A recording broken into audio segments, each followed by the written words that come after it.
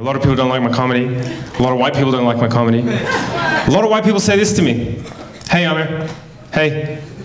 Get on stage, you make your jokes about white people, you say white people this, white people that. What if I did something like that? Huh? What if I got on stage and I said, Yeah, black people are like this, Muslims are like that? You'd probably call me a racist, wouldn't you? And I say, yeah, yeah, I would. Yeah, you should. You should never do that. That's that's bad for your health. They're like, well, you do that, Aamer. You do that. You get on stage. You make jokes about white people. Don't you think that's a kind of racism?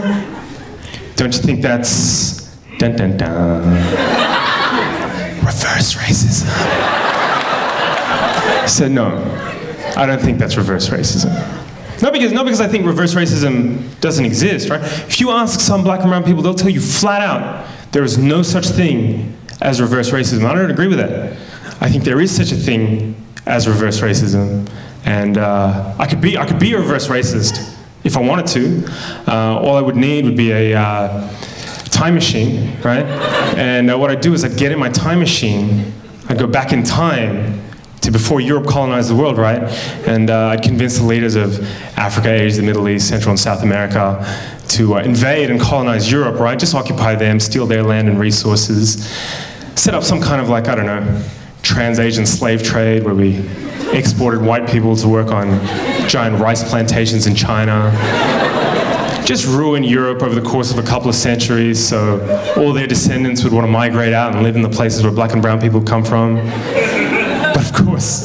In that time, I'd make sure I set up systems that privilege black and brown people at every conceivable social, political, and economic opportunity. White people would never have any hope of real self-determination. Just every couple of decades, make up some fake war as an excuse to go and bomb them back to the Stone Age and say it's for their own good because their culture's inferior, and just for kicks, subject white people to colored people's standards of beauty, so end up hating the color of their own skin, eyes, and hair. If, after hundreds and hundreds and hundreds of years of that, I got on stage at a comedy show and said, hey, what's the deal with white people? Why can't they dance? That would be reverse racism. Melbourne, thank you. You've been great.